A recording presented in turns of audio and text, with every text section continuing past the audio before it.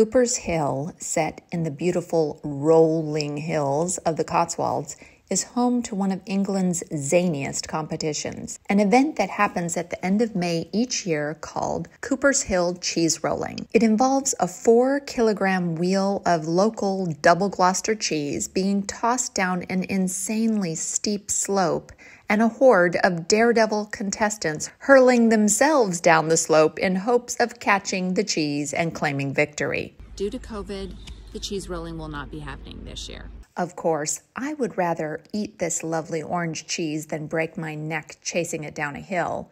So I'll be having a nice double Gloucester toasty for dinner tonight. And on Bank Holiday Monday, when the cheese rolling would normally be happening, I will be enjoying a meal at the competition's namesake pub, the Cheese Rollers, on the outskirts of Cheltenham.